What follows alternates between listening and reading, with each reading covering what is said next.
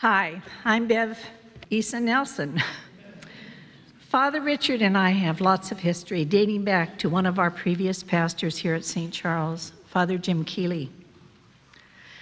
The last few years of Father Richard's life have been very difficult for him, as well as many of us. So I would like to share a few stories that might bring a smile to your lips and hope to all of us. When he moved into the rectory with his furniture, he had a couch, and we did everything we could to get that couch where he wanted it. You know, he was very precise. Finally, I said, Richard, this ain't going to work. We put it back in the garage. The following week, we hired our handyman. He cut a hole in the closet, and we brought the couch in that way. And I said, Richard, I love you dearly, but whenever you leave, that couch is going to stay.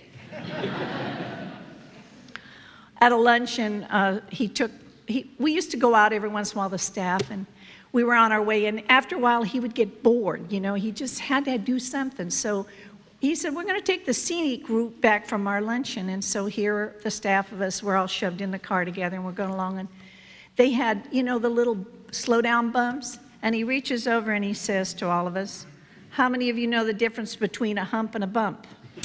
The car went a dead silence, and all the way back to the rectory, nobody said anything. what I loved whenever we'd have him over for dinner, not only did he tell you who he wanted to come or who he didn't want to come, he would also tell you what he wanted to eat or what he didn't want to eat, you know? But he loved to discuss politics. I guess discuss would be a nice word, especially with Father Bob and my husband.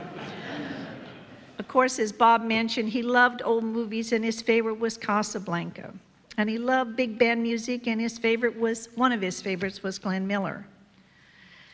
As secretary of St. Charles for many years, I had a lot of asterisks at, after my job.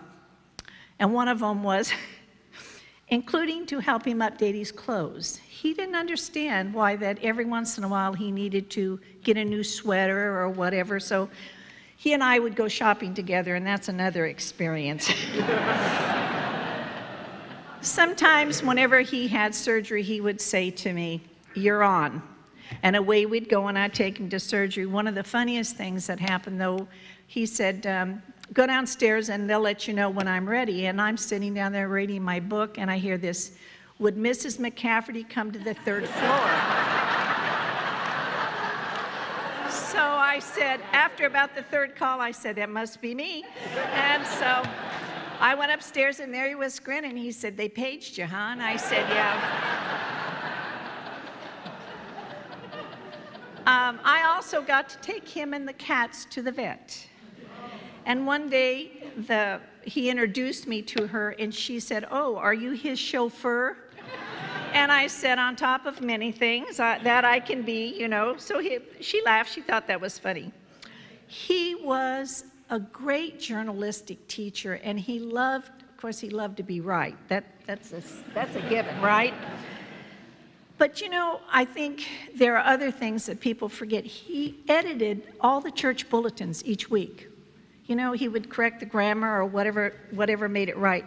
For me personally, he corrected my Christmas letter and he said, You're going to owe me for the rest of your life, Bev, let me tell you. But his homilies were just awesome and they always gave you something to think about, something from the heart. He was many, many things to me and my family during some of a, a lot of sorrow in my life and a lot of happiness. But most of all, he was a dear friend. And so I thank you, Father Richard, for all your memories. Bev? Yes. Could you tell the postman story? you know what? I almost wore Mel's bathrobe today because I thought that would be an appropriate thing up here. Nothing's inappropriate for Richard. For many of you, maybe you've heard this story before. If you haven't, hang in there, okay? Like I said, there were many asterisks to my job. And um, the main sprinkler system in the back went out. And so I was doing the watering on top of many other things. And so I had the timer on, and every 15 or 20 minutes I'd go out and move the hose. And I don't know about most of you, but I've always learned to grab the hose like this until you get where you want and then let it go, right? So I'm out there and I'm getting ready to put the hose down, and here's Richard. Beverly, come here right now. So I turned around to see, I thought it was an emergency. And as I did, the hose went, and I am soaking wet. And I said, okay, Richard, now we have a little problem here. I don't live too far from here. I can go home and change my clothes. And he says, No, you're not going anywhere. He said, Come in the back. So he said, Here's my bathrobe. Put your clothes in the dryer. So I put his bathrobe on, put my clothes in the dryer, and I said, Richard, um, if anybody comes in through the front door, you're going to have to take care of it. So, because I'm sitting in the back in his bathrobe. So, we are a very friendly community, and Steve, our postman, I always used to say, Steve, if you can't find me, just roam around and start hollering. And so he had some postage due, and Steve came down the hallway and he's yelling, Bev, Bev. And as I get up, forgetting that I got the bathrobe on, I step out the door, and Steve, the postman, says, It's okay, Bev, you don't have to explain anything. and I said,